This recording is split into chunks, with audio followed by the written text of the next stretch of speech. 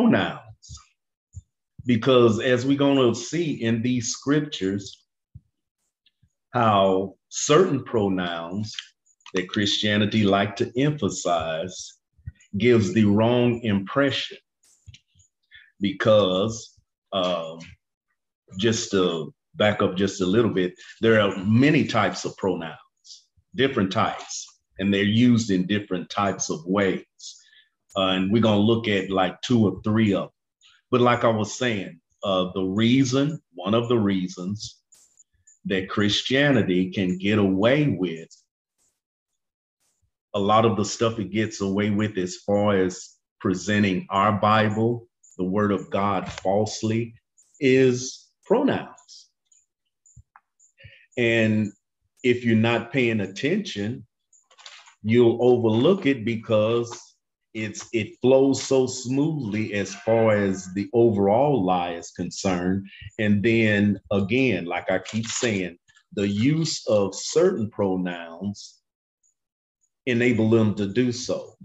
And see, while they uh, emphasize some pronouns, then there's another type of pronoun that they seem to totally ignore. So we're going to start at the book of. The book of Acts, chapter 2.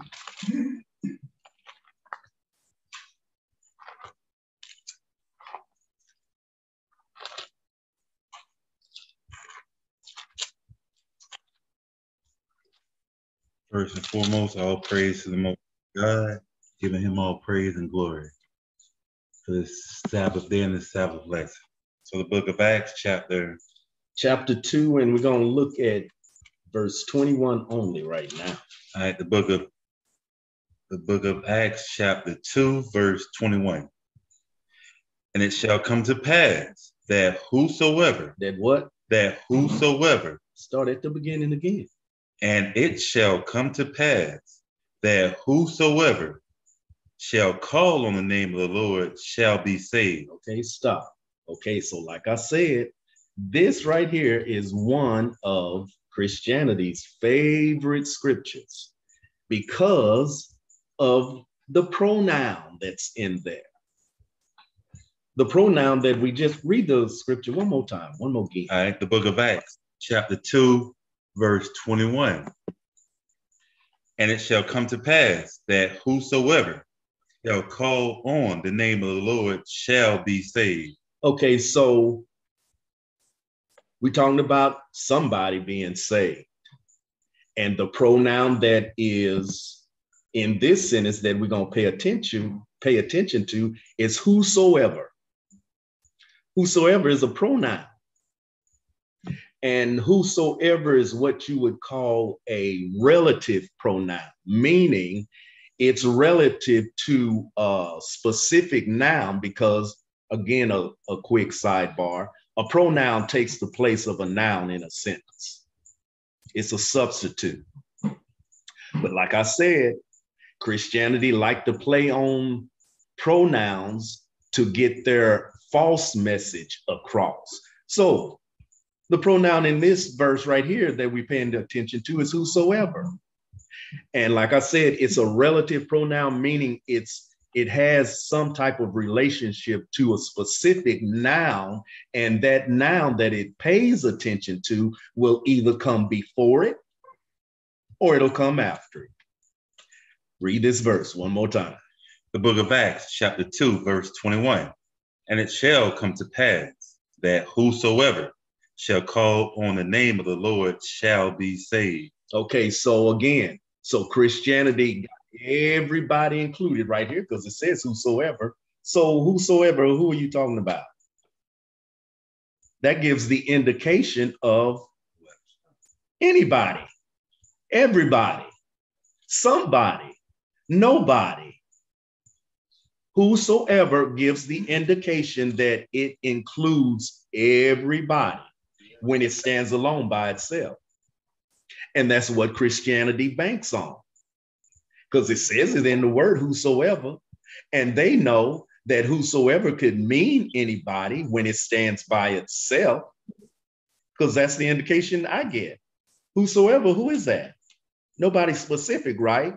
But like I just stated, whosoever, it's a pronoun, but it's an relative pronoun, meaning the noun or the subject that it relates to either comes before it or it becomes or it comes after it. So read verse 21 and then read verse 22 together. Okay. Acts chapter 2, verse 21, starting at verse 21. And it shall come to pass that whosoever shall call on the name of the Lord shall be saved. That's any and everybody. Ye men of Israel. Stop. Who is the whosoever? Ye men of Israel. Everybody.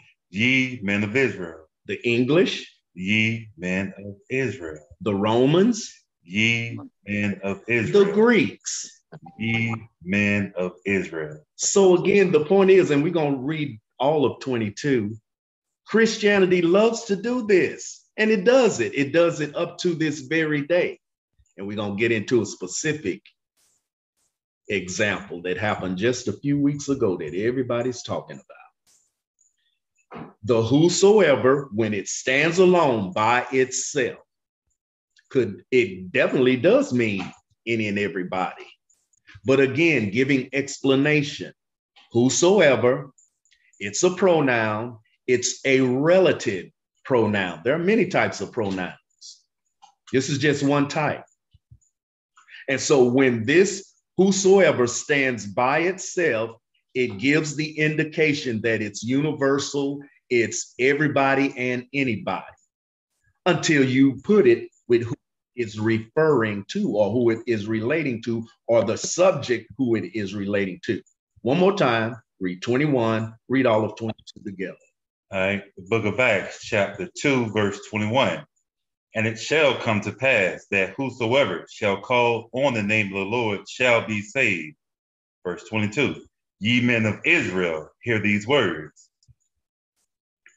Keep Jesus reading. of Nazareth, a man approved of God among you by miracles and wonders and signs which God did by him in the midst of you, as ye yourselves also know. Okay, so again, and I have to say it repeatedly because the lies repeated all the time. Anything that's said over and over and over again, it starts to get embedded into the long term memory.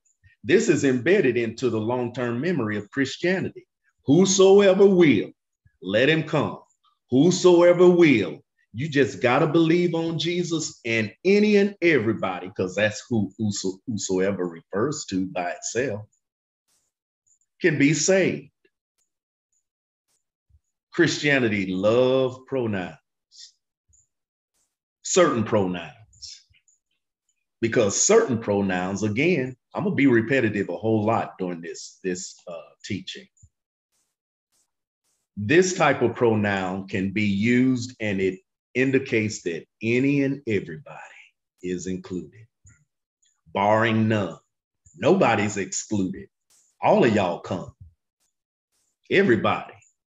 Until you put that relative pronoun with who it is actually referring to or related to. It's related to ye men of Israel. That narrows it down tremendously.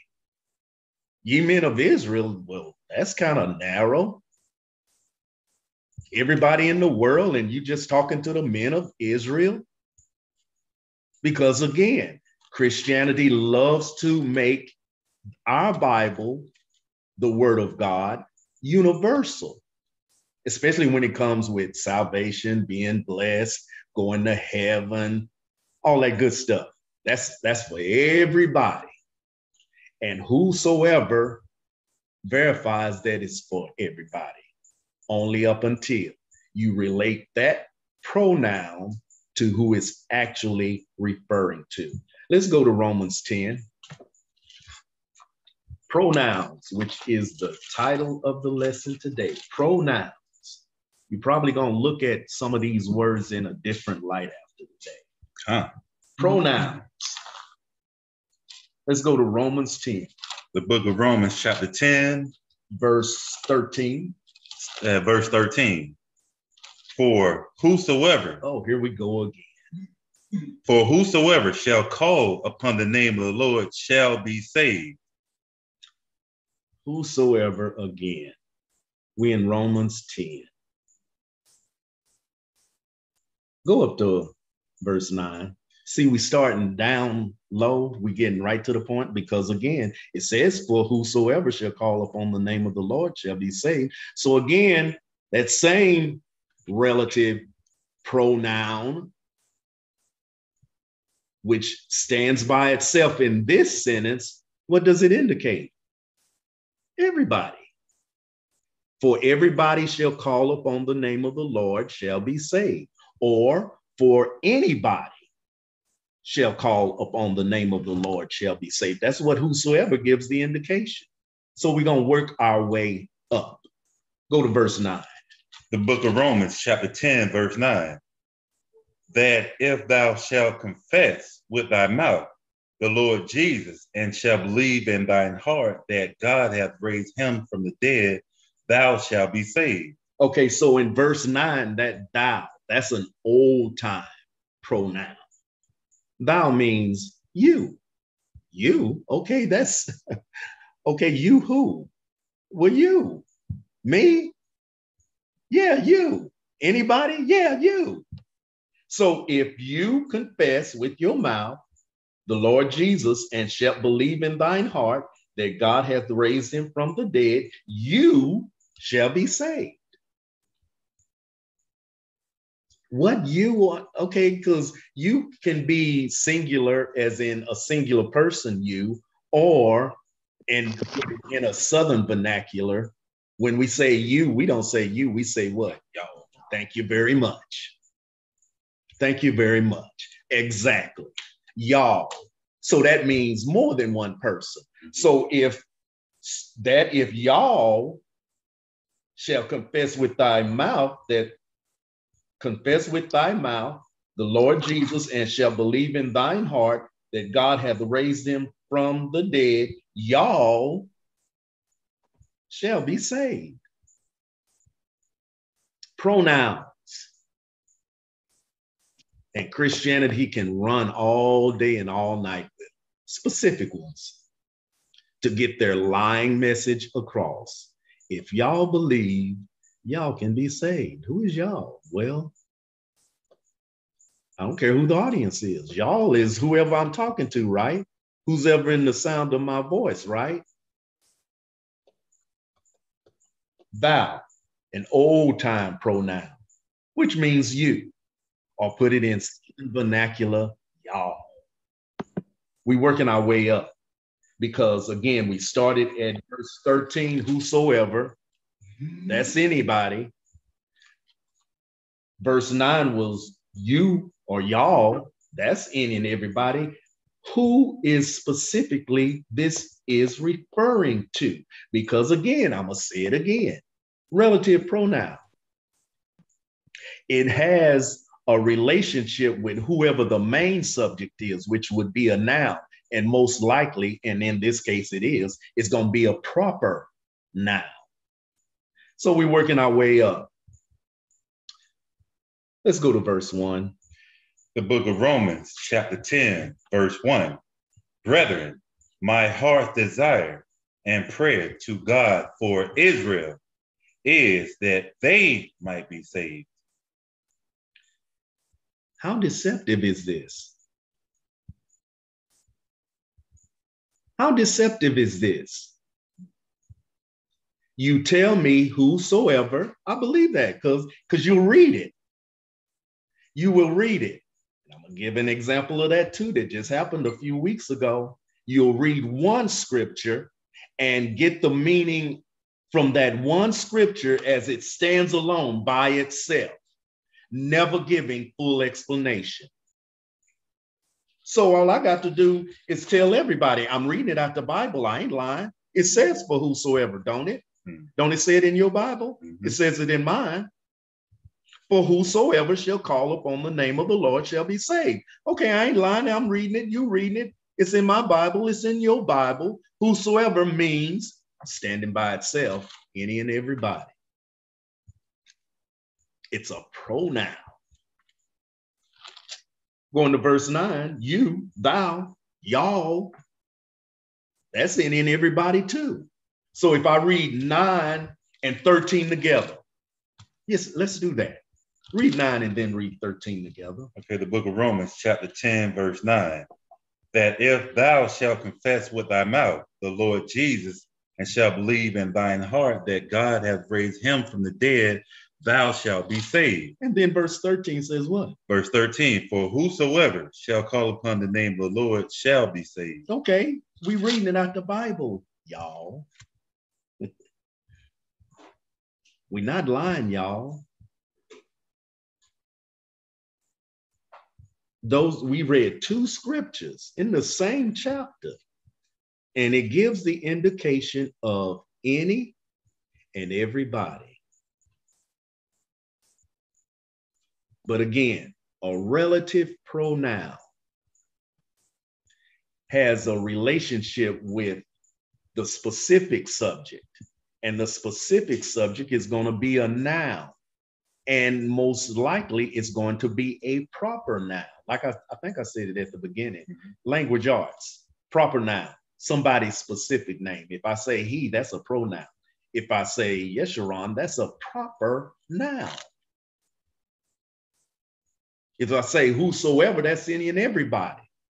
But then you talking about the men of Israel, the God for Israel. Wait a minute, you done narrowed the, the playing field down tremendously. Because we done moved away from them pronouns and we done got into some proper nouns. And so we now know who we talking to. It ain't any and everybody. It ain't y'all come. Hmm. And where did Acts 2 and 21 come from, and where did Acts 22 come from? This is a this is like an education lesson because you got to know history. Where'd that come from? Let's go to where it came from. Let's go to Joel 2. But we emphasize in the pronouns because Christianity love certain pronouns and then certain ones, uh, not so much. Let's go to Joel 2.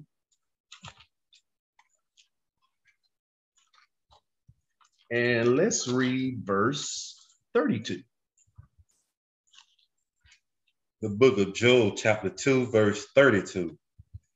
And it shall come to pass that whosoever, here we go again, shall call on the name of the Lord shall be delivered. For in Mount Zion and in Jerusalem shall be deliverance, as the Lord hath said, and in the remnant whom the Lord shall call. Okay, so even in this one verse right here, it says whosoever, but was everybody, all mankind living in the Mount Zion area? Was all of mankind living in the Jerusalem area? Because this is where this was stated. So if I make a statement for this house right here where I am, does that mean everybody in this city? For one, everybody in the city didn't hear these words.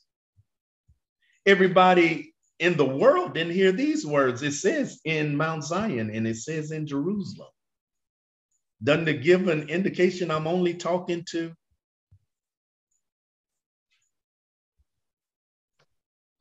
But that pronoun, there you go, whosoever.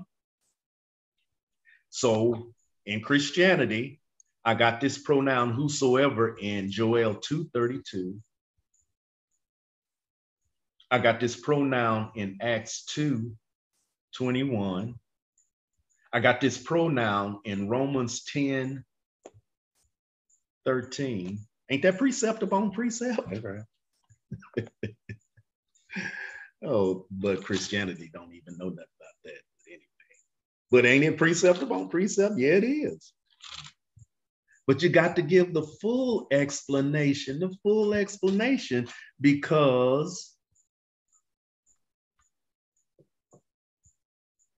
truth with a little bit. All you need is a like a smidget. of lie is what? Not true. Truth with just a smidgen. All you need is a smidgen of a lie. It's still your what? Lie. What Christ said, a little leaven leavens the whole loaf. Well, you don't need a whole lot, just a little. just a little smidgen. And that's what Christianity has been working with for long time, a long time. They'll read out of this Bible, but if you listen long enough, it's always going to be a smidgen. Just a little bit of leaven. And it's going to work its way through the whole lump. You got a precept? I'm just going to read something real quick. Uh, Okay. Second Timothy, we all read this, but uh, Second Timothy two fifteen says, "Study to show thyself approved unto God, a workman that needeth not to be ashamed, rightly dividing the word of truth." But just that smidgen, just a smidgen, just a smidgen. I don't even know how big or small a smidgen is, but whatever size it is, that's all it takes is to, to turn the truth of God into a lie. Because again, read verse 32, Joel 2 32 again. Book of Joel, chapter 2, verse 32. And it shall come to pass that whosoever shall call on the name of the Lord shall be delivered. For in Mount Zion and in Jerusalem shall be deliverance, as the Lord has said, and in the remnant whom, whom, whom the Lord shall call. stand alone by itself. However, go up to verse thir- uh, 27 and read 20. Well, let's start with 27. Read 27 first. All right, the book of Joel, chapter 2, verse 27. And ye shall know that I am in the midst of Israel. Wait, there you go. You're narrowing it down again. You said of Israel. Does that mean Greece No, or China? no, We always name them countries. What about Thailand? Nope. What about Australia and New Zealand? Verse 27 And ye shall know that I am in the midst of Israel, and that I am the Lord your God, and none else, and my people shall never be ashamed. Verse 28.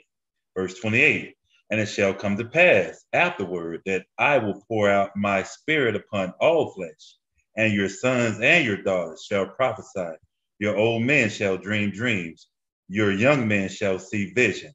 Okay, so right now we emphasizing the uh, relative pronoun and how it relates to it's a pronoun, but it relates to something specific as far as sentence structure or subject matter. It's going to be a proper noun, and in verse 27 it says, "And ye shall know that I am in the midst of Israel." So if I'm saying this, and this goes back to 32, if I'm standing in the midst of Israel and I'm saying, and it shall come to pass that whosoever, who am I talking to? Israel. I'm standing in the midst of Israel. I'm making a proclamation. So who am I talking to? Israel. Pronouns. And guess what? We coming back to these scriptures because there's some more pronouns up in there that we need to look at. From there, let's go to John. Another favorite. You know the the whether you're talking about nowadays or back in the day when whatever recording artist you had that you liked and they had like certain hits like year after year or every two years they come out with a song and it's a hit. And they got a whole lot of and they have so many hits that after a while they put out an album and it's called what? The greatest hit. the greatest hits. Well these pronouns that we're looking at right now these are christianity's greatest hits.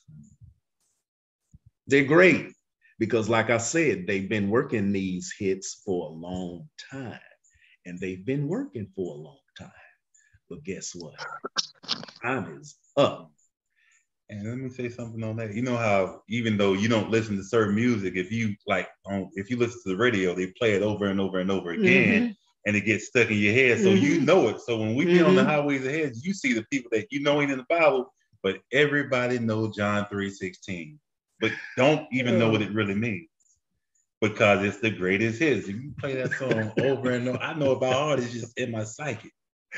Oh, did I say John 316? No, you sixteen? did, but I said John, didn't you I? said John, so Okay, what? So what? What you talking about? John three sixteen? I didn't even say that. that's one of the greatest Yet. hits. Let's go to John three sixteen. it's the greatest hit. Mhm. The book of John, chapter three, verse sixteen. What does it say? The book of John, first, like it. The book of John, chapter 3, verse 16. For God so loved the world that he gave his only begotten Son, that whosoever believeth in him shall not perish, but have everlasting life.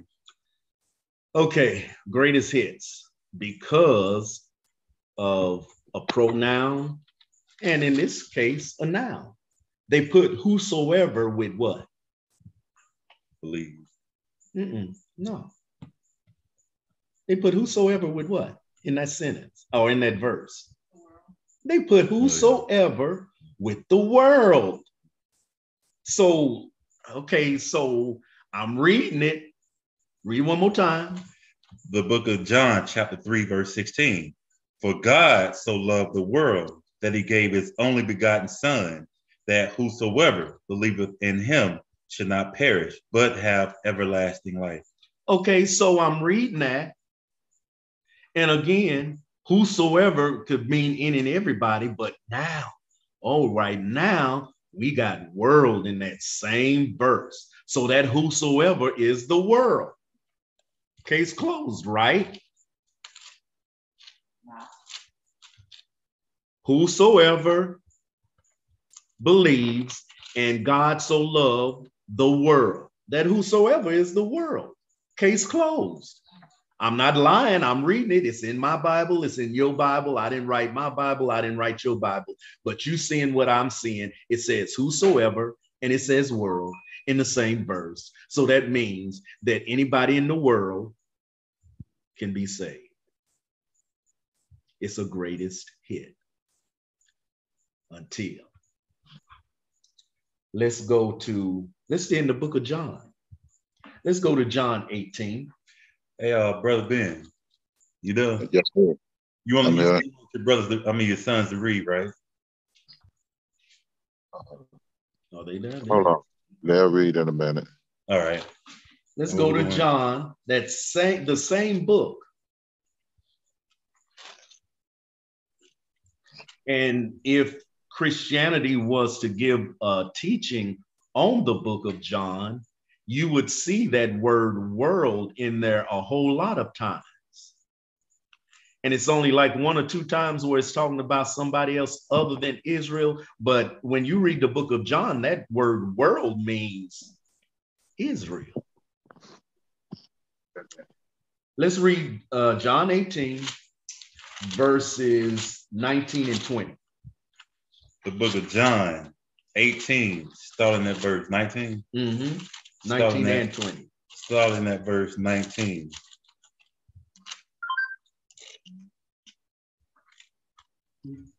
Eighteen, nineteen, right? Mm-hmm. No. 19, 20 Oh, 19, and 20. with chapter 18, right?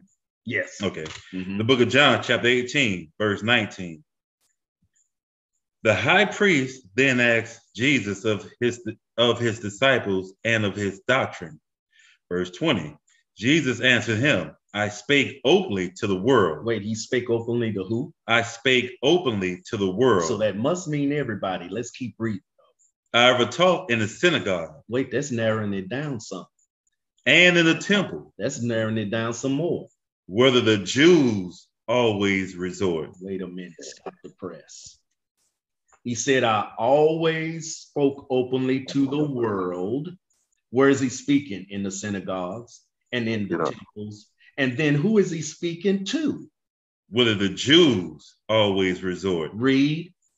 and in secret have I said nothing. We got world right here. We got world right here.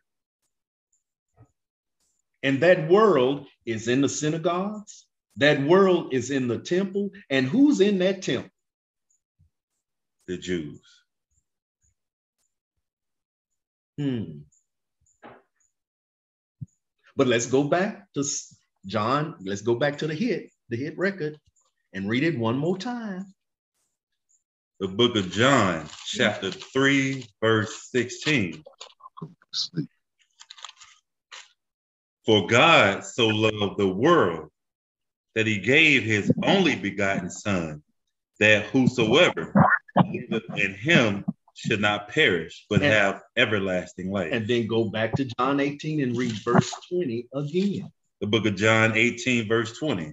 Jesus answered him, I spake openly to the world.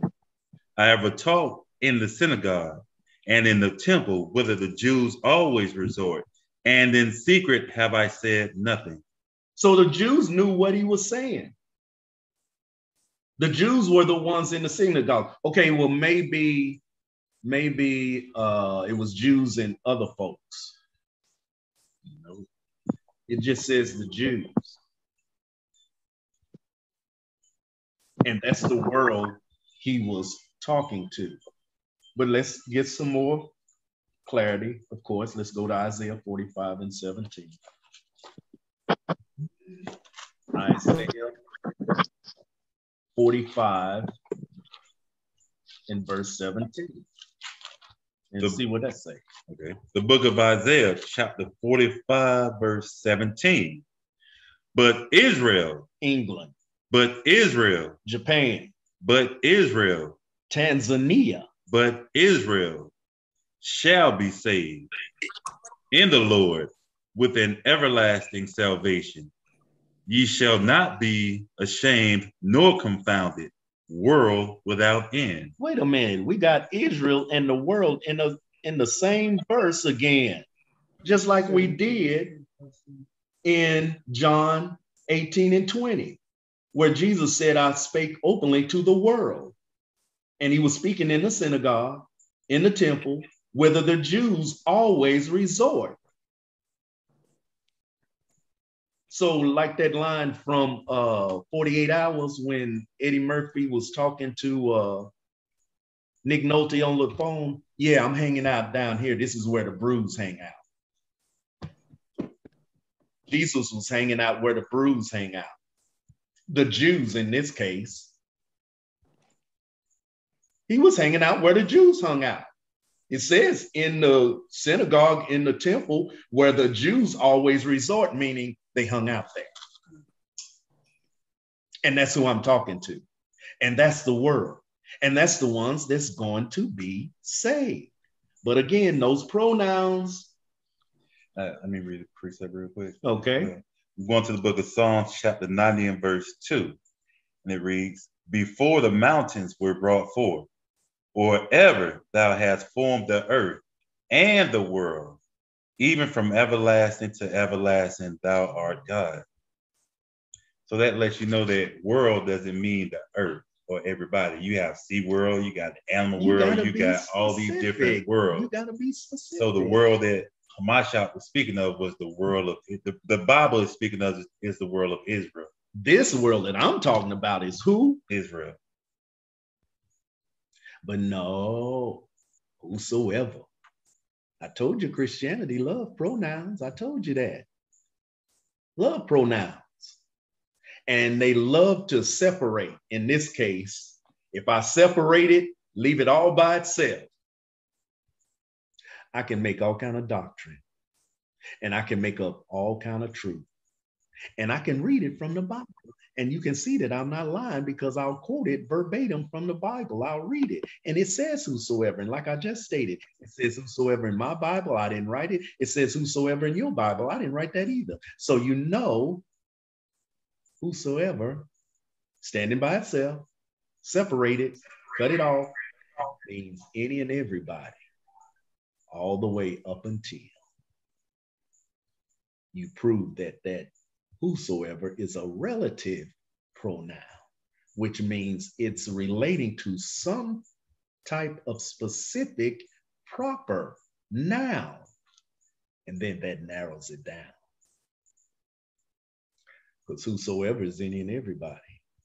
The world is any and everybody until you throw in that Israel stuff and that Jew stuff. Pronouns. Christianity loves them. From there, let's go to Matthew 11. Matthew 11. We're talking about pronouns. It's a language arts class. And what that that one uh that one scripture I can remember was that right now what Christ said, I pray for them, I pray not for Not the world. for the world, because that's in John 2. Mhm. Because, like I said, in the book of John, the word world is mentioned several times. It's only a couple of occasions where that word world is not referring to Israel.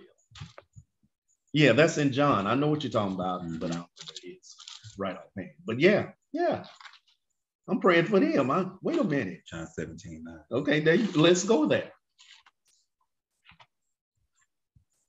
So how can he say he loved the whole world when in this scripture he says uh, John 17, 9, I pray for them.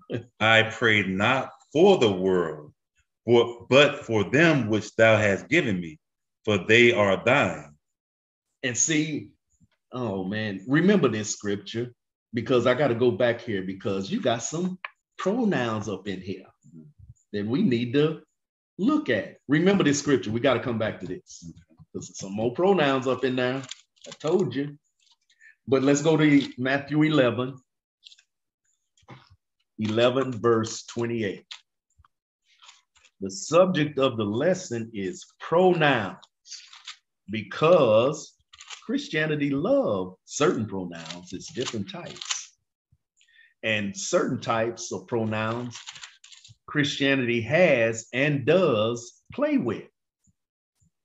And they separate them from any and every other scripture, just gotta get them by themselves. That's like, uh, and it just popped on my mind when you look at the nature videos. What do the lions do when they going after a herd? You go for the weak one. Are they going for all of them? Nope. No. They got their eye pinpointed on one, and what they gonna do with him? Separate. They're gonna get that bad boy separated. Cause that's lunch right there. Or dinner. And that's what Christianity does with these certain pronouns. I'm gonna separate you, let you stand by yourself again, and I'm gonna read it out my Bible, and it says the same thing in your Bible. And so I can't be lying because we both reading it out the Bible. But I got that pronoun separated. I don't want it with anything else. I want it by itself because it works best for my lie if I separate it. Pronouns. All right. Matthew 11, verse. Is that what I want? That's what I got written down. Let's read it. Which verse? Uh, verse 28. Uh, the book of Matthew. Oh, yeah, I know. Yeah, yeah, yeah. The book of Matthew, chapter 11, verse 28. Come unto me, all ye that labor and are heavy laden, and I will give you rest. Okay, so why'd I go there? I almost forgot. I got it written down. All is what? Everybody. And it's also a pronoun, but it's an indefinite pronoun. Before we talk about relative pronouns, I told you it was more than one type. It's several types, and we we working with two or three of them. This is the other one. All is an indefinite pronoun. So where some uh whosoever could mean anybody, well, what you think all means? Everybody. all of y'all, all of y'all, all of y'all. Come unto me, all you that labor and are heavy laden, and I will give you rest. So, and it's in red, so we know who's talking. And so it says all, and we know who he's talking to, right? All of y'all. Let's go to Isaiah 14. Isaiah 14. Keep your finger there because I may be coming back to Matthew 11, 28. But let's go to uh, Isaiah 14.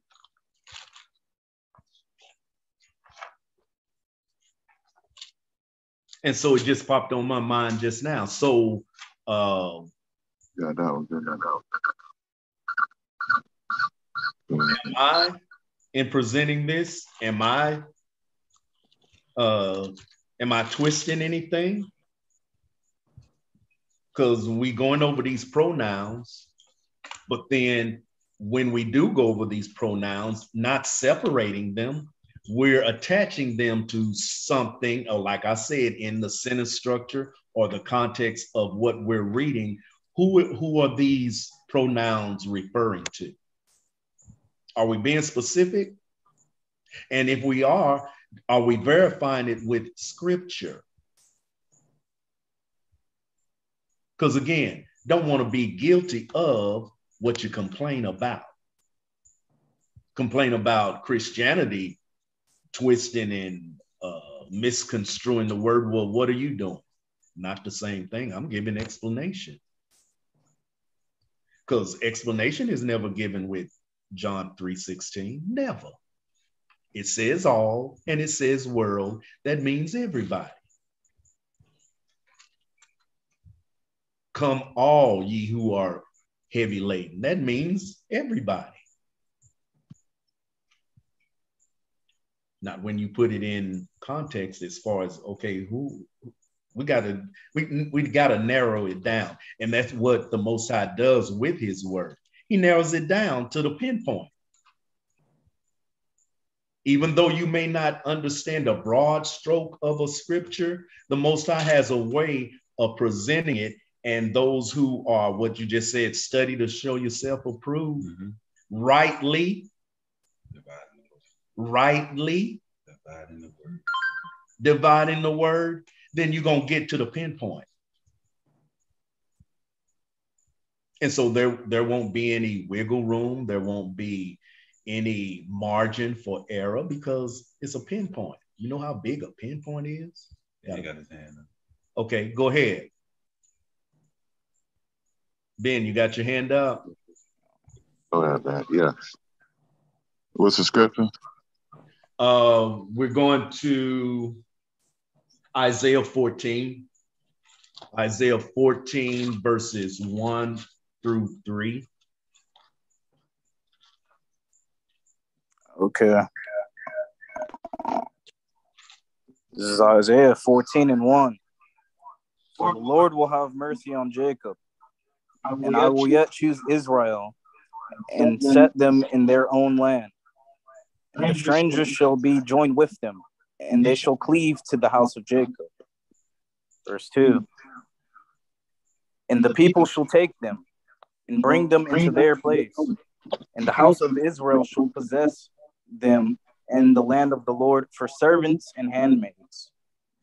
And they shall take them captives, whose captives they were, and they shall rule over their oppressors. Verse 3 And it shall come to pass in the day that the Lord shall give thee rest from thy sorrow, and from thy fear, and from mm-hmm. the hard bond- bondage wherein mm-hmm. thou wast made to serve. Go back up to one and read one one more time. Isaiah 14 and 1. For the Lord will have mercy on Jacob, and I will yet choose Israel, and I and set them apart in their own land. And the stranger shall be joined with them, and they shall cleave to the house of Jacob. Drop down to three and read three again. And it shall come to pass in the day that the Lord shall give thee rest from thy sorrow, and from thy fear, and from the hard bondage wherein thou wast made to serve. And then go back to Matthew 11 in verse 28.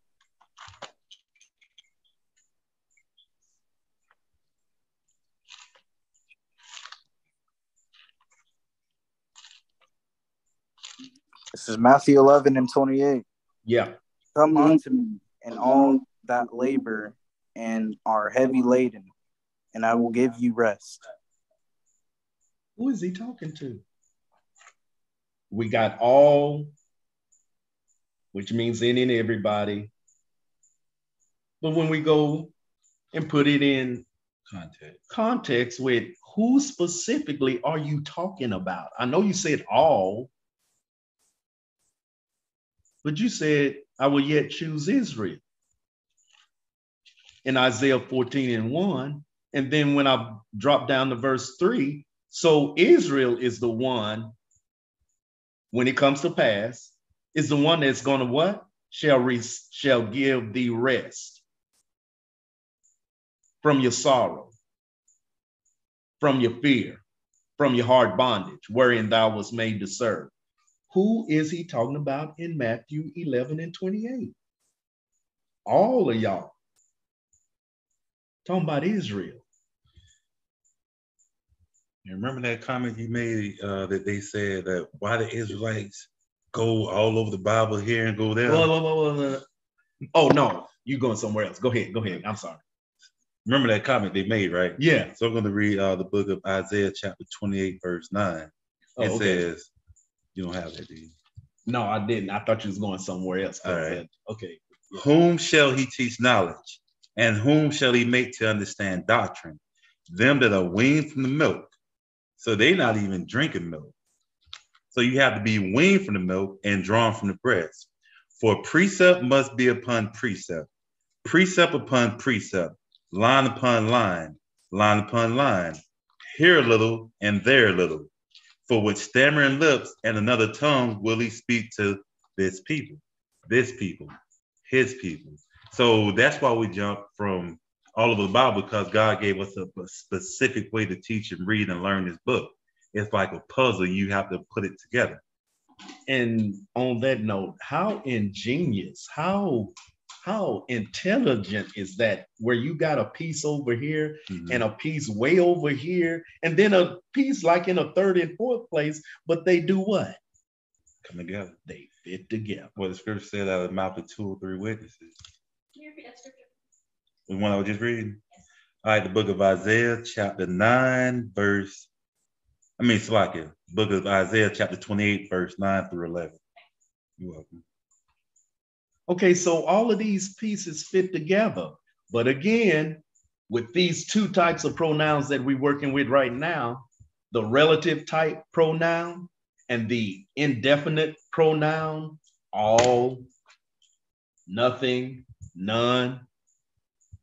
If i separate it by itself i can put in my little leaven i can put in my little lie and it'll work how many times? Every single time. Because how many times have you heard John 3:16? All your life, Huh? all your life. So I rest my case. It works when? Every single time. Slakia. Every time. Uh-huh. Uh, Sirach, Yeah, I, I think Brother Ben got to raise his hand. Oh, It, that, it was just, yeah, it was weird. I, I- I looked up. It was, okay. You got another one, Ben? No, no, I I didn't take it down just so we can read. Okay. All right. Okay. So again, we talking about pronouns and certain pronouns that uh, Christianity has been uh, using, and they use scripture.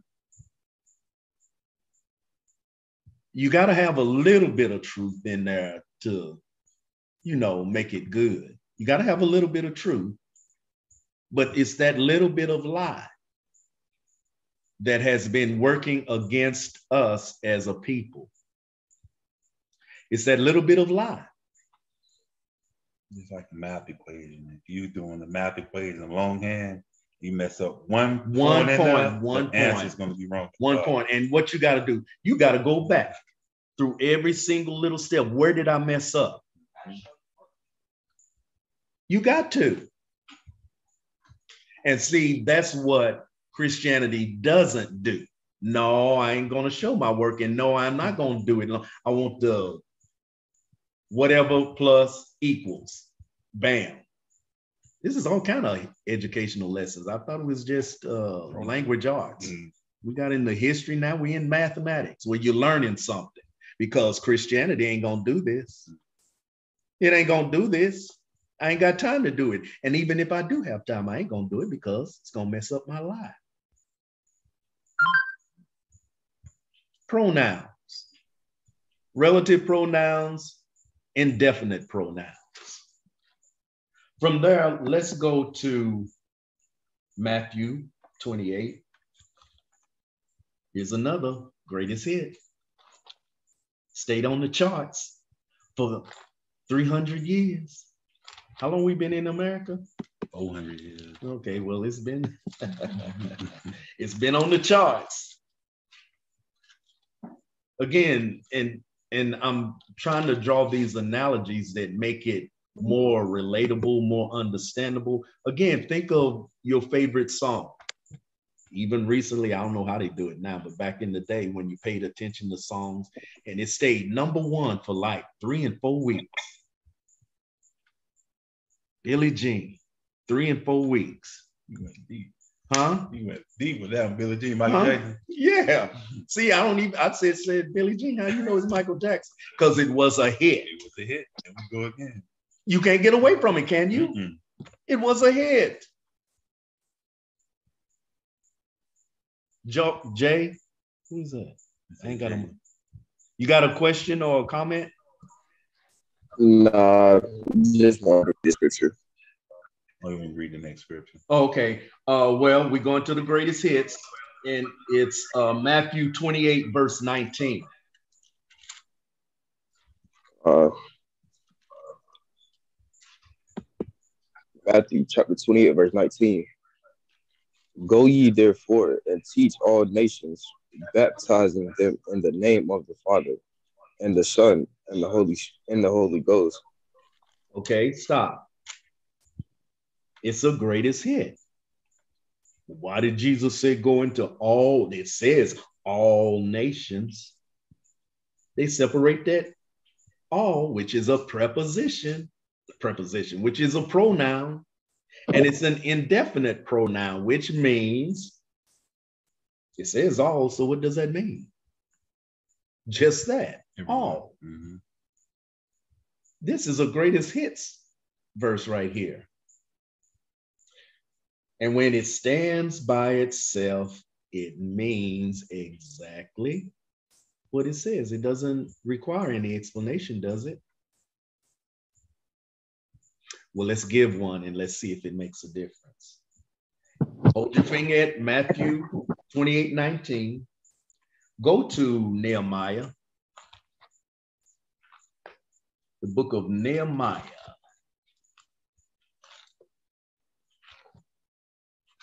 Chapter 1. I'm saying it slow so I can get that. Mm-hmm. Nehemiah chapter 1, in verse 8. The book of Nehemiah. Nehemiah. Okay, go ahead. Go ahead. Huh?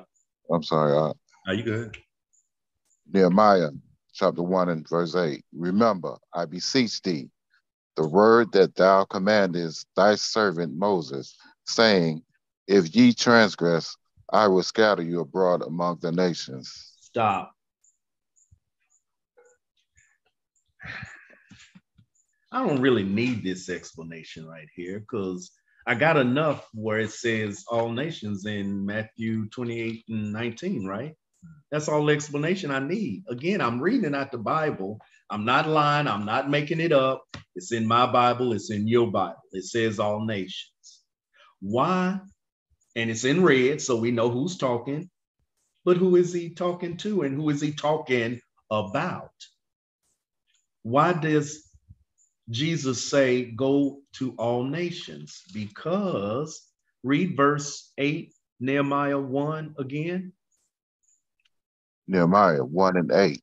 Remember, I beseech thee, the word that thou commandest thy servant Moses, saying, If ye transgress, I will scatter you abroad amongst the nations. We did transgress. And so this is the result of it. We were scattered abroad among the nations. Among the nations, is that saying the same as all nations? Where I'm telling you to go teach? And why am I telling you to go teach there? Because that's where Israel is.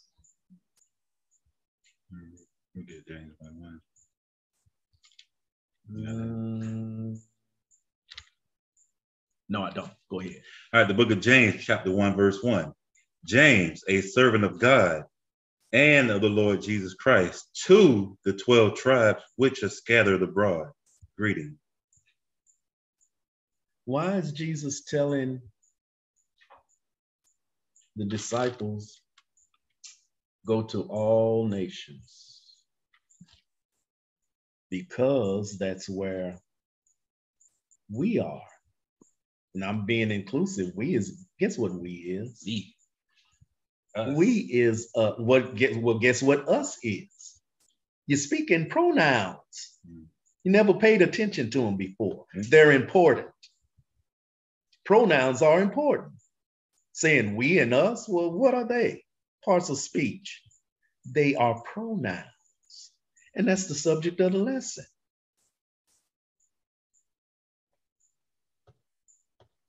And again, Christianity has used pronouns to further their lie.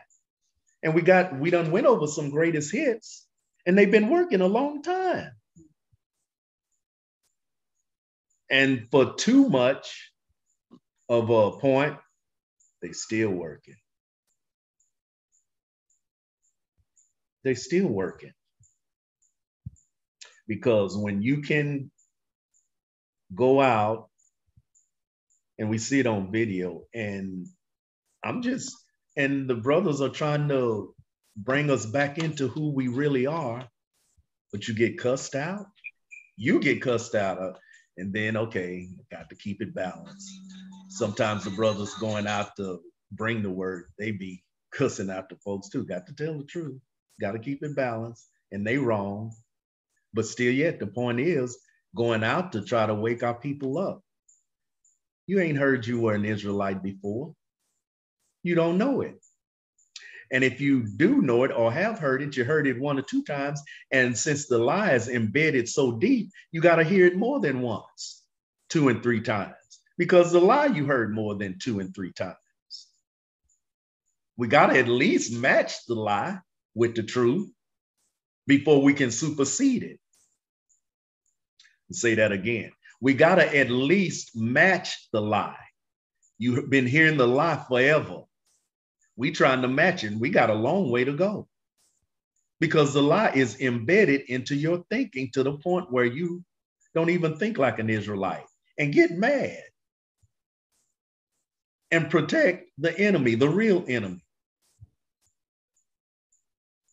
Well, all of them ain't that bad, and you, we ain't no better than they are. And and it goes on and on the the, the madness and then again and i have to say i relate to that a little bit because when i first came in the truth my statement was oh they just trying to turn everything white black i said that to myself when i was doing research but i kept on researching and it kept on wait a minute wait a minute wait a minute something's rotten in denmark as they say Deuteronomy 28, 15 through 68. Wait a minute, wait a minute.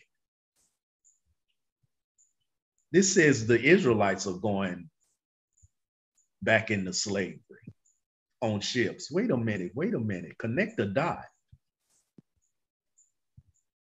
And again, I have to bring up the story, and it happened again just last week. Okay, wait a minute. The word says that the Israelites, it's in the Bible, the Israelites the young men are going to be hanging out at the head of the street, is what the word says, but the head of the street is what? Street The street corner. It also says those same young men, Israelites, that hanging out on the street corner, going to be acting like bulls, meaning they acting a fool, acting crazy. Stand in prison. Wait a minute, wait a minute, wait a minute, wait a minute, wait a minute. Wait, wait that's talking about Israelites, but that sounds like who? Us. That's a pronoun. Snared up in prison houses.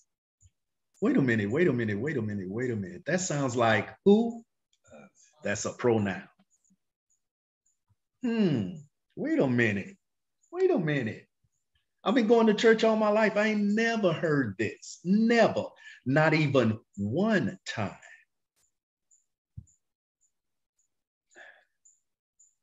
Wait a minute. Because if you give explanation on a lot of these scriptures, it's going to pop into somebody's mind that this is, which is a pronoun.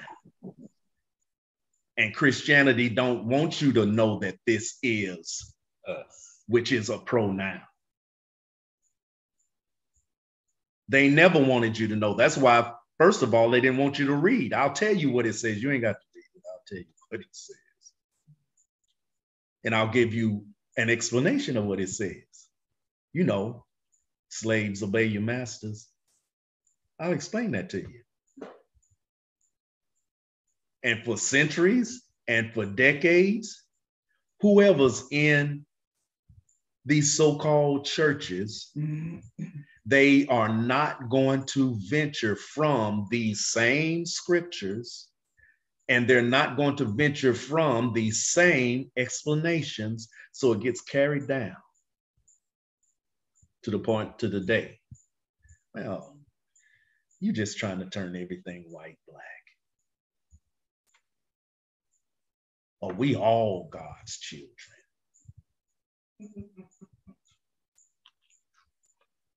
Them pronouns again.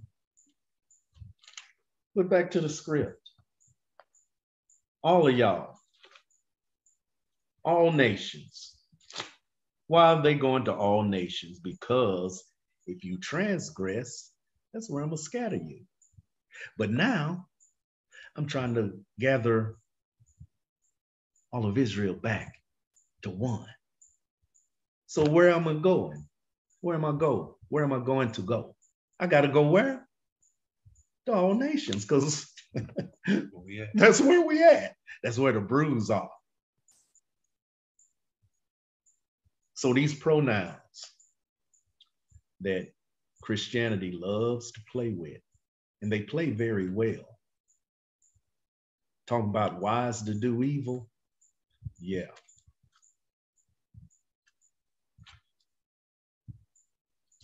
Um, IUIC went to uh, Pastor Jennings' church a couple of weeks ago.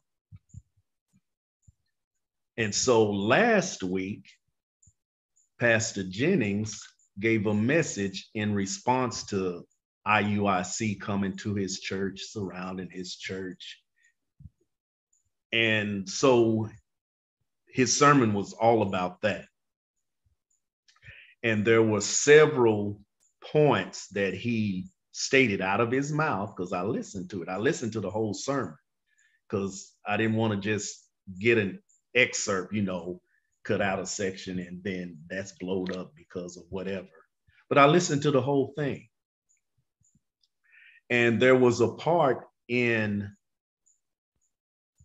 him trying to discredit being an Israelite that he went to, uh, and we going there. Let's go to Romans 9.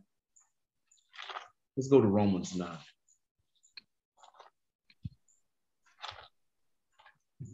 Because he did read this, but again, like I stated, his whole sermon was to discredit those of us who have found out that we're Israelites and we're trying to wake up everybody else, but somehow or another, even well, no, it's it's it's scripture because these are the Pharisees back on earth. Um, downplayed the importance of us being Israelites to the point where, like it is, they want to discredit it in every way, form, and fashion. So he went here, Romans 9. Let's read verses 6 and 7. He read this. The book of Romans, Romans. Okay, go ahead. Up. Romans 9, verse 6. Not as though the word of God have taken none effect, for they are not all Israel, which are of Israel. Neither because they are the seed of Abraham are they all children, but in Isaac shall thy seed be called. Okay, so he read this. He read those two chap those two verses together. And his emphasis was, like I stated before, trying to discredit those of us who have found out we're Israelites. And so when he read this, he made the statement, Well, I'm more of an Israelite than you are. And then he gave, you know, a lot of whole banter, blah, blah, blah, blah. But this is the basis of what he was saying. Everybody that claimed to be Israel ain't Israel. Okay, we know that. We say that ourselves. We know very well, and it's stated two thirds of Israel ain't gonna make it. We say that ourselves. But he's he read these two verses to discredit all of us who claim to be Israel. And being in whatever denomination he's he's promoting is better because, like he stated, I'm verbatim quoting, uh, I'm more of an Israelite than you are. Okay, so he went from there, and then we going where he went to. He went to Romans 3.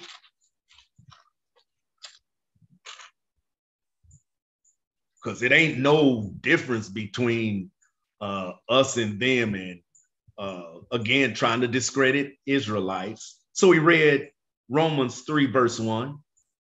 Read Romans 3, verse 1. Romans 3 and 1. What advantage then have the Jew? Of what profit is there of circumcision? Okay, so while he had the reader reading this right here, he kept chanting nothing to the point where a few of the congregants joined in. What advantage, what advantage then hath the Jew? Nothing or none. He was either saying one of the other, either none or nothing. Guess what none or nothing is? Give you one guess. It's a pronoun. He and the he had the gentleman read it like several times, and while he was reading it, he was saying nothing or none. Because I said, and if you're not Israelite, then you some other is Christianity. So, like I said, Christianity loves pronouns. I told you that. They were reading this verse, and while he had his reader reading this verse, he kept chanting nothing or none. Nothing. What advantage have the Jew? Nothing. What advantage is the Jew? Nothing. And it, he just kept doing it for a few seconds. Because Christianity loved pronouns. I told you that. But I was waiting. I thought he was going to go to verse two. He didn't, but we are. Read verse one and verse two together. Romans 3 and 1. What advantage then have the Jew? Or what profit is there of circumcision? Verse 2 Much every way, chiefly because that unto them were committed the oracles of God. He did not read verse 2. Yeah, I remember he jumped to verse 9.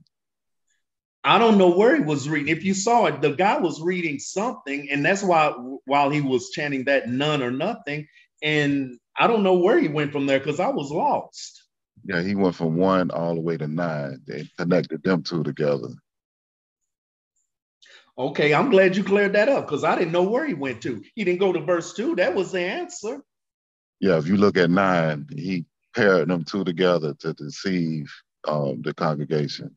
Well, thank you very much. I'm glad you cleared that up. And so let's read nine. Okay, Romans yeah. 3 and I 9. Yeah, read nine. What then? Are we better than they? No, in no wise, for we have before proved both Jews and Gentiles that they are all under sin. Hmm. So that was the, again to prove his point that being an Israelite meant nothing. And he even did some more stuff. We don't need to go into that. But I'm glad you brought that up, Ben, because I didn't know where the guy went. He didn't announce the verse nine. He went a- immediately from one to nine. And I was waiting for verse two. I didn't know where he went. But his point was okay, um, Israelite. Uh, what advantage? Nothing. What advantage? Nothing. Nothing. None. And then he went to verse nine. Yeah, okay. Man, so explain verse nine though. Like it says, uh, what then are they better than they? So what this is speaking of is northern and southern kingdom. No, in no wise for because remember, uh, southern kingdom thought they was better than northern Mhm, kingdom because they called them uncircumcised. Mm-hmm. So that's what this is explaining, not the, the other nations of the heathen. Okay, so he wouldn't even, he didn't even go there. Because we are all under sin, and sin is a transgression of the law. So he and the law must, was he had, only given to Israel. it had to be the northern kingdom. Yeah. But he didn't explain that. He did not explain that. His point was to drive home that these crazy Negroes outside of my church last Sunday ain't nothing. That was his point.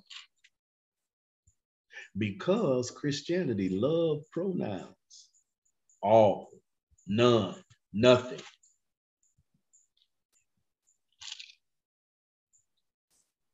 pronouns. And like I said, it's been working for a long time, and to a detrimental extent, it's still yet working. All right, from there. I always think these are going to be real short lessons. I really do, like 45 minutes. I really do. You gotta let the spirit. Man. But like I said, Christianity loves certain type of pronouns, like the what we've been talking about right now. Uh, the relative pronoun where it, you know, separated by itself, stand alone. And then I can prove my lie. And they like the indefinite pronouns, doing the same thing, separated so it can stand alone. But you know what? There's another type of pronoun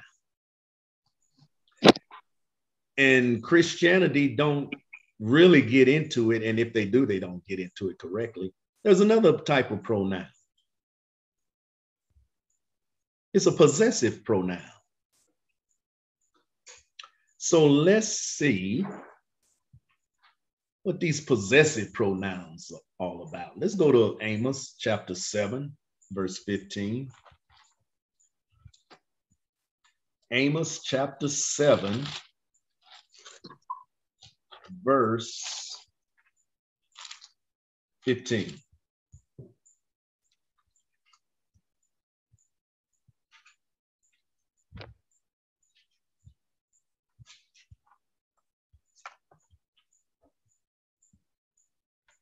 The book of Amos, chapter 7, verse 15. And the Lord took me as I followed the flock. And the Lord said unto me, Go prophesy unto my people Israel. Hmm. Guess what? We got some pronouns up in this joint. And we got some possessive pronouns. My people, Israel. My people, Japan. Israel. What about my people, um, Arabia? Israel. What about my people, Bangladesh? Israel. You'll read all these scriptures and you'll emphasize a whole lot of things, but you will never or hardly ever? And if you do, you'll do it with a twist. Will you emphasize my people Israel? I gave this analogy a few weeks ago, and I got the participants here with me today. Pops, gonna make a declaration, and here's the declaration. All of my children, no, I'm gonna give a million dollars to all of my children that hear my voice now. I'll say it again. Pop's gonna make a declaration. I'm gonna give a million dollars to all my children that hear my voice now. How many of us are gonna get excited?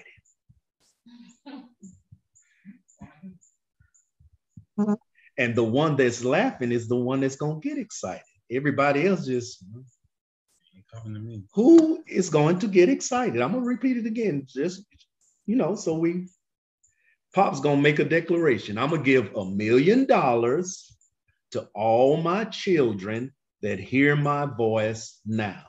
Who's gonna get excited? Ain't nobody saying nothing. Ah, and that's a pronoun. And that's what Christianity does. Because they'll take that same statement, I'm going to give a million dollars to all. They'll miss a couple of words that hear my voice now. Leave out two words or ignore them. I'm going to give a million dollars to all that hear my voice now. You done left out two important words. What were the two important words? My people. And even more important, that one word. Israel. No, my, because we're dealing with pronouns. That's a possessive. So who's gonna get excited by that statement? Anybody? Uh, who gonna get excited? Not me. Yes, Ron, you getting excited? Boy, you said all that hear his voice. Now you ain't getting excited? No. Dan, you getting excited? Yes. Well, see, that's what Christianity does with these pronouns. They play with them, and certain ones they ignore. We just read, Go prophesy unto my people Israel. Who's going to get excited about that?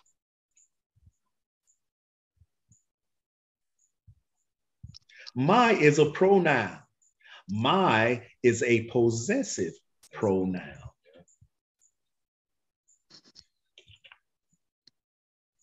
You got to be included in my. Forget people in Israel. You got to be con- included in my first. The analogy I just gave, you got to be included in my. Because you could hear, okay, I'm gonna give a million dollars to all children that hear my voice. And since Pop's older than all of us, okay, hey, I think I qualify right there.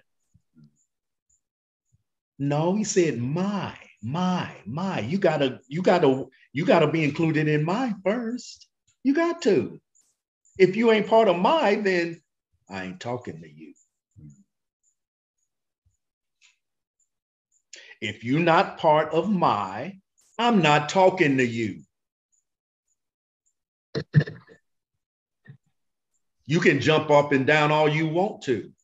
If you're not part of my, I ain't talking to you. It's a possessive pronoun. From there, told you we were going back. Let's go back to Joel 2 27.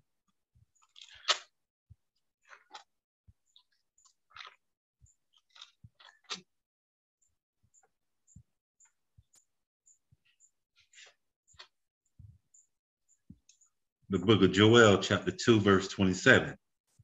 And ye shall know that I am in the midst of Israel, and that I am the Lord your God, and none else, and my people shall never be ashamed.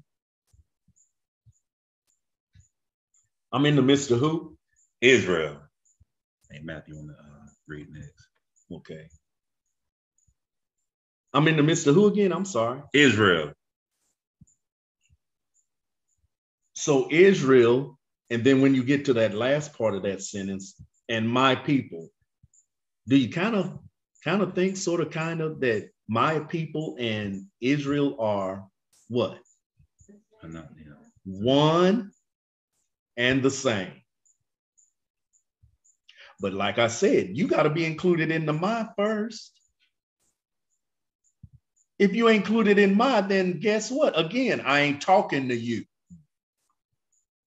You jumping up and down like I done said something you you gonna take a part in. I ain't even talking to you. I'm in the midst of Israel. And guess what? There's another pronoun up in there. I am the Lord. Who's God? Your God. Hmm. You know, you know what your is. Your is a possessive pronoun.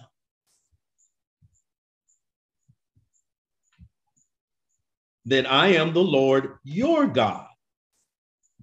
And you and my people. And we got one more pronoun we need to look at because he says, I, I am the Lord your God.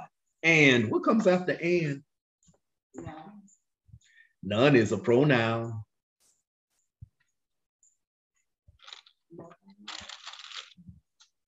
None is a pronoun. So even if Christianity would read this verse, and sometimes they do because they include themselves in my, they include themselves in your, and they ignore none else because none else, you ain't talking to me because I'm part of mine, I'm part of your. Wait a minute.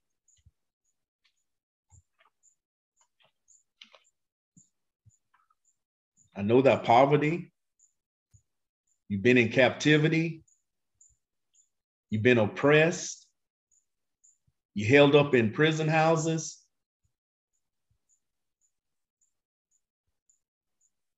You young men hanging out on the street acting a fool. Of all those examples I gave, and keeping it real, does the average white person relate to any of that? No. And I'm keeping it real. Keep it real. I got a nephew. And the day is a day that we don't celebrate. His birthday. And guess where he is right now as I am speaking? I give you one guess. In prison. We as a whole, as a whole, I don't care who you are, who cannot relate to that? Huh? I just told you, I got a nephew, blood nephew, my brother's son. As a matter of fact, his firstborn son. Right now, as we speak, as I'm speaking, and today is his so called birthday. Guess where he is? He has your name. Oh, God, I forgot about that. Yeah, his name is Jared.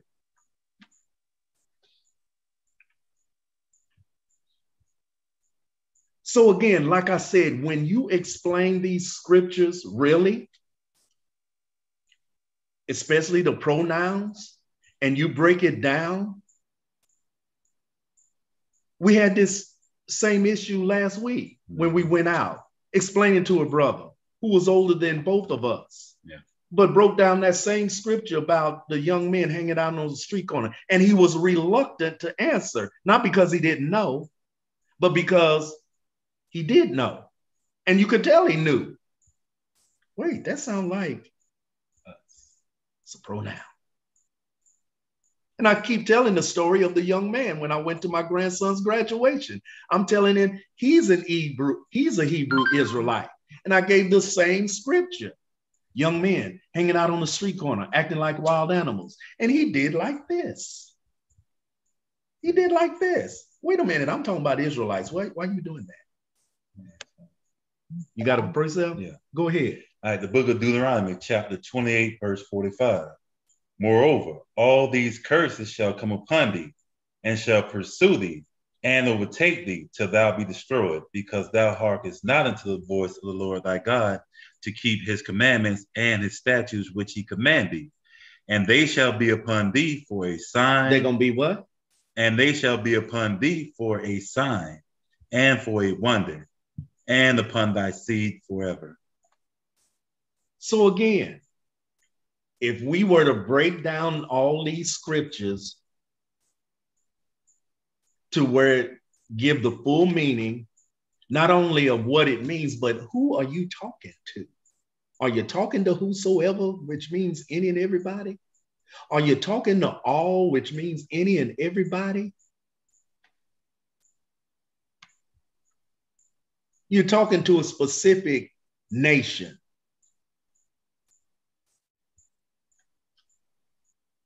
You are talking to a specific nation because everything that's brought out, man, I can relate to that. Man, that sounds like us. That sounds like us. But again, like I keep repeating, Christianity play with these pronouns. Certain ones they keep separated. So in and of itself and by itself, it's all of y'all, everybody and anybody. And then the possessive pronouns, which we're going over now, well, it, it don't really mean that. It's always that state, usually. It don't really mean that. Okay, then what does it mean? It don't mean that, then okay, explain then what it does mean. Pronouns. From there, let's go to Luke 1. Matthew you're gonna read this. We got you, Matt. Luke 1. Okay, yeah. Luke 1, verses six, start at 68.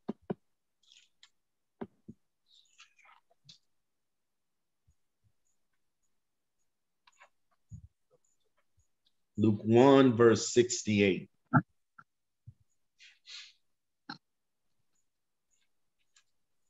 We put this forward.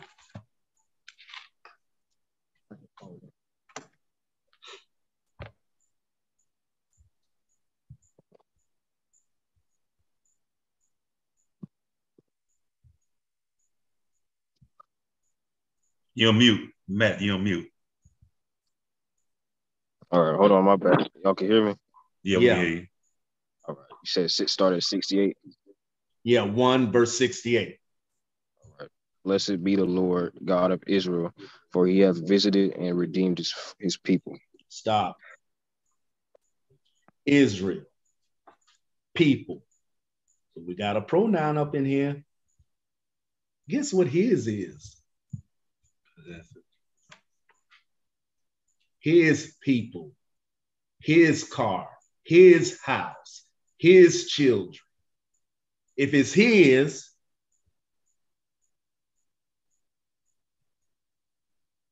possessive pronoun, his. And so, who is his people? Israel. Do I got to go through these lists of other nations again? Do I have to always do that? Well, kind of, sort of, yeah, because again, like I stated, the lie's been told enough times where we got to be at least comparable with the lie, and it's going to take us a while to do that because the lie is embedded in our thinking.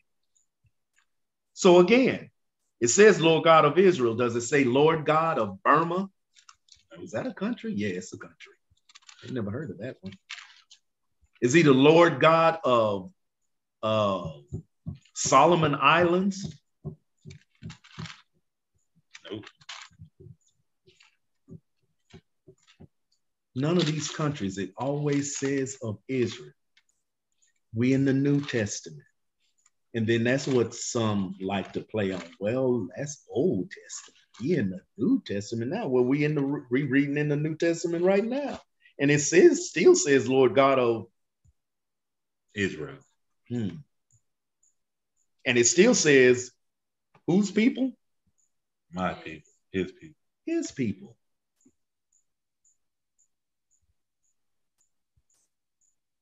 working these pronouns today, boy. Drop down to verse 71. Verse 71 that we should be saved from our enemies and from the hand of all that hates us. Okay, verse 71, you got all these pronouns. Who is the we? Israel. Who is the us? Israel. Israel got enemies.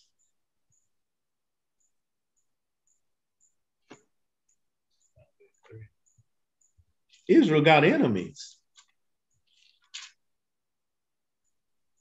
And obviously, they're much stronger than we are because, huh? Because we sin. Because we sin.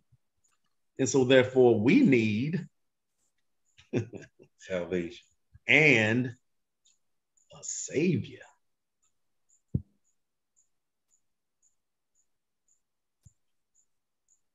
Read verse 74 for us. Verse 74 that he would grant unto us that we, being delivered out of the hand of our enemies, might serve him without fear.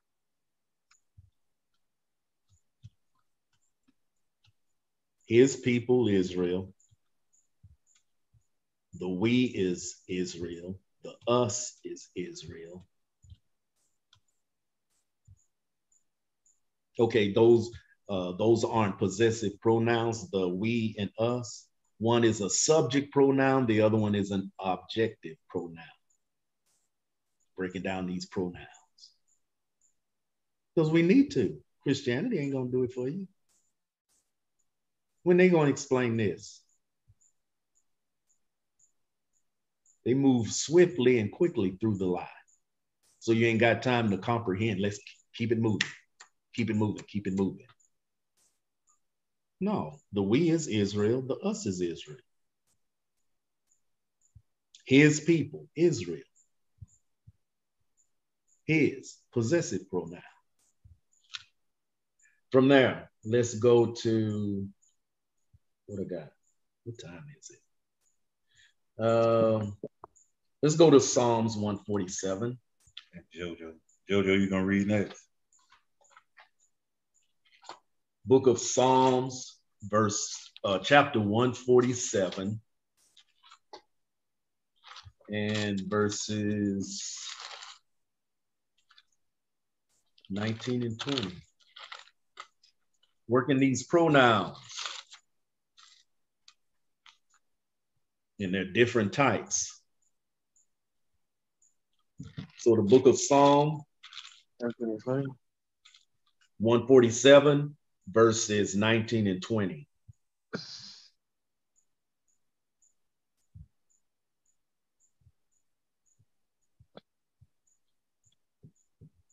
He soweth his word unto Jacob, his statutes and his judgments unto, unto Israel. He hath not dwelt so, so with any nation. And as for his judgments, they have not known him. Praise ye the Lord. Okay, uh, again, done veered off from the possessive pronouns, but we still got some pronouns in here we need to pay attention to. Because verse 20 says, He hath not dealt so with any nation. Any is a pronoun. That's everybody else or every other nation other than Israel. Israel. Not dealt any nation. Meaning I don't deal with you like that. So all these other nations, all these preachers, and all these other nations that aren't from the house of Israel. Wait a minute. I showed my this one. Wait, I showed my statutes to Jacob and my judgments to Israel. Wait, what are you? Wait, what you doing? I don't deal with you like that. He hath not dealt so with any nation. And they don't even know him. That's why they got the lie going. That's proof of that. That's proof of that scripture right there. They got the lie going. They don't know his statutes. They don't know his commandments. That's why the lie is going. And like we say, when you tell one lie, you got to tell another one to cover that one. Well, Christianity has had no problem with doing that. Okay, you got precept bring. Uh, Psalms chapter 50 and verse 16. Mhm. But unto the wicked, God saith, What hast thou to do to declare my statute, They have not known them. or that thou should take my covenant in thy mouth, They have not known them. seeing thou hatest instruction and cast my words behind thee? They have not known them.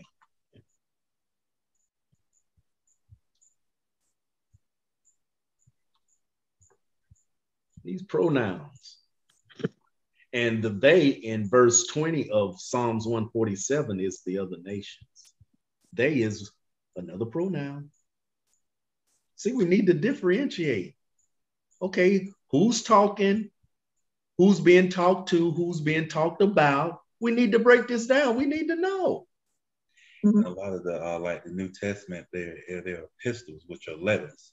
So if I mail a letter to you, that letter is addressed to you, not everybody else, right? So that's what we people people don't understand. These are letters to his people. On that note, I wasn't going there, but since you said that, let's go to Acts 15 and 36 to verify that. Acts 15 and 36.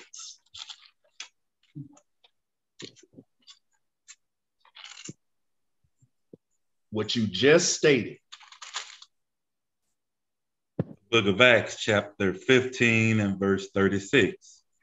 And some days after Paul said unto Barnabas, Let us go again and visit our brethren in every city where we have preached the word of the Lord and see how they do.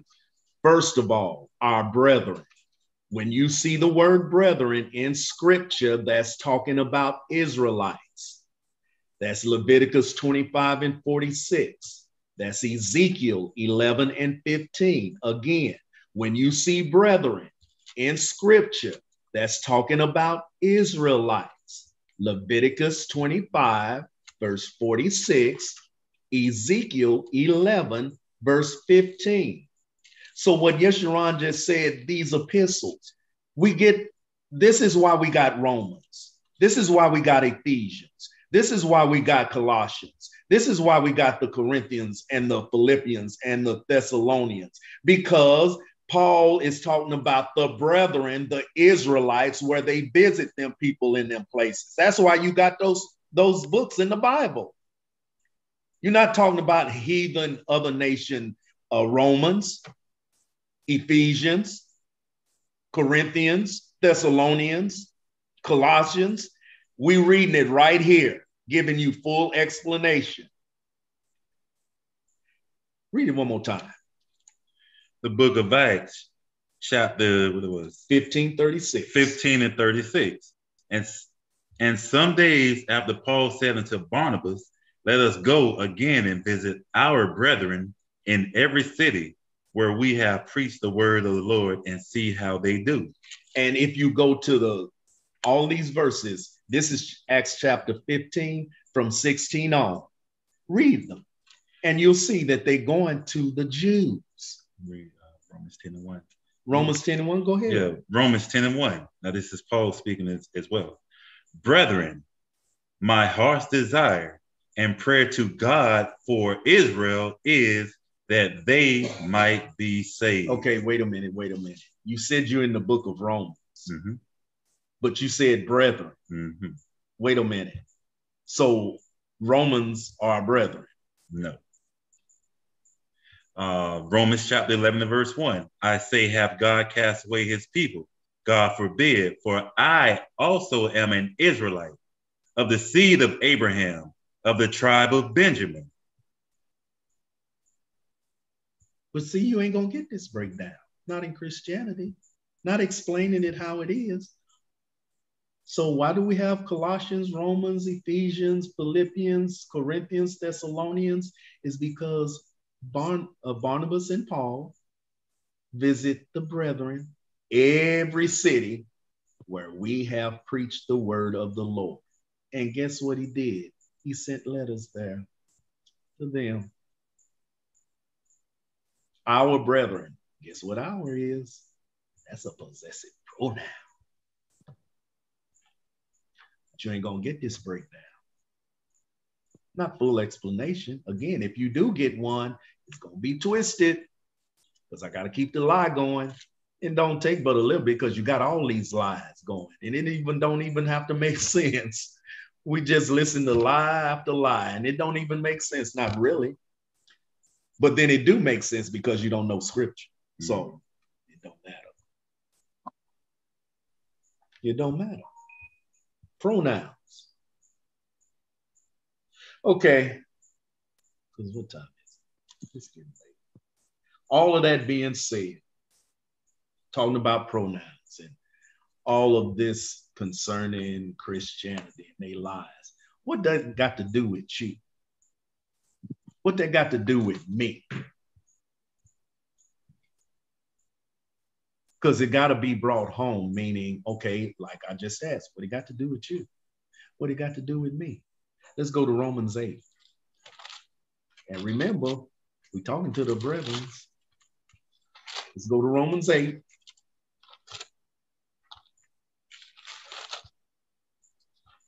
Make it make sense. Romans 8, let's read 16 through 18. Is that what I want?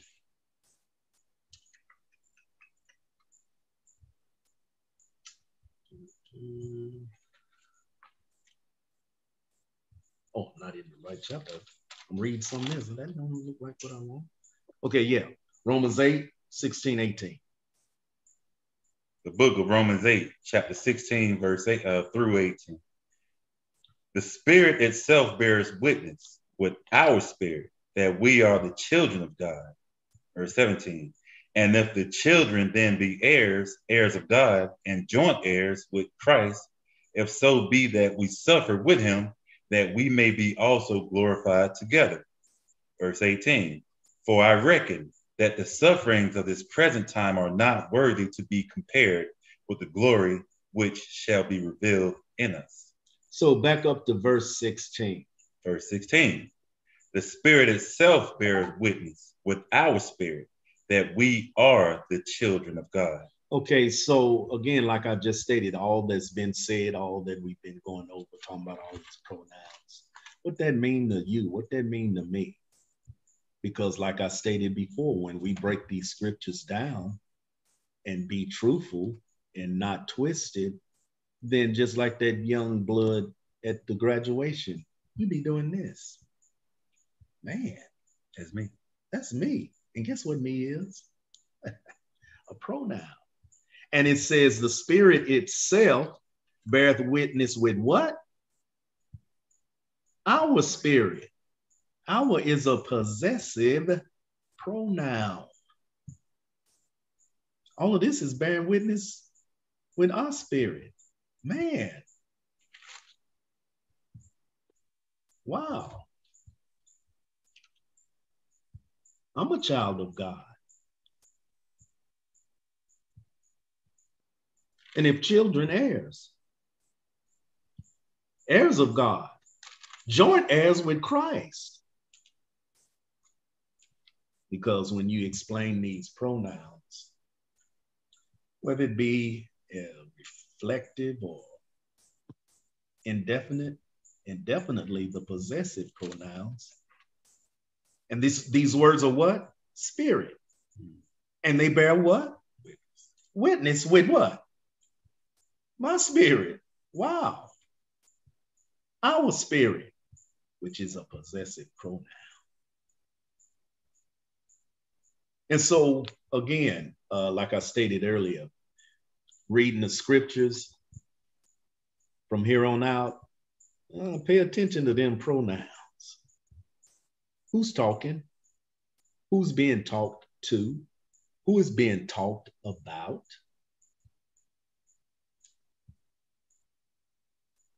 And if it's a pronoun, make sure you attach it to some specific proper noun. So you know who's who and what's what and what's going on. Because again, like I've been saying, Christianity been lying a long time and it's been working a long time because we didn't know the scripture. And first of all, we didn't know the scripture was talking about us, Us, me. Wow. Yeah. So, with that being said, that's the lesson. Let me close out with this one scripture. Pronouns. All right. The book of First Chronicles. Come on. What do I want to say? Uh, uh, repent, for the kingdom of heaven is at hand. If my people, Second Chronicles, isn't it? 7 and 14. Yeah, 7 and 14. Whose people? My people.